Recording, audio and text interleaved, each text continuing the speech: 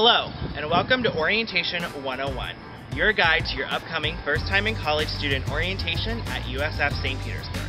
I'm Austin Arias. And I'm Kyle Patterson. Together, we are the lead orientation leaders. Us, along with 10 other orientation leaders, will be here to lead you throughout your orientation. During this short video, we will be walking you through the information necessary for you to begin orientation. This is your orientation confirmation brochure. You should have received it upon completing registration online. If you haven't received one yet, don't worry, it'll arrive soon. This is your guide to prepare for your upcoming orientation.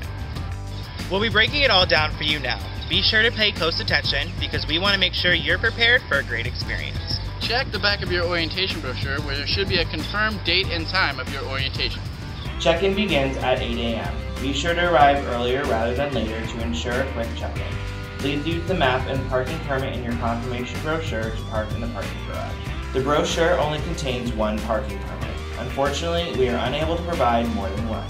If you plan on driving separately from your parent or family guest, please have them purchase a guest decal at the Welcome Center on campus. This can be done the day of orientation. Once you park, please go to your designated check-in location. Students, you will check in at Residence Hall 1. Be sure to bring your belongings for your overnight stay to check in with you so that you can secure them in your room.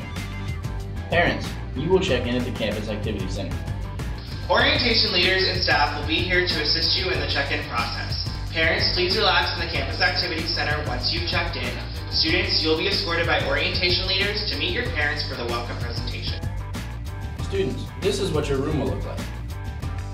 Be sure to use the things to bring list in your confirmation brochure to ensure that you bring everything you need for orientation, such as sheets, toiletries, and a pillow. Our program will begin with a welcome presentation. Throughout day one, you will be given breakfast, lunch, and dinner. Students, during orientation, you'll meet with many campus departments and learn about the resources available to you, meet with your academic advisor, and much more. Parents and family members, you have a separate parent and family orientation.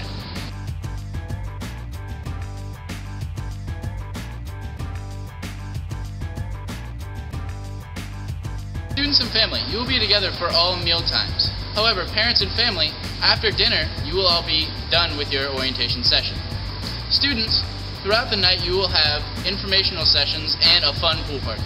Students, the final portion of orientation will begin the next morning after breakfast. You'll attend various other sessions as well as register for classes. Please refer to the orientation confirmation brochure and website as your guide.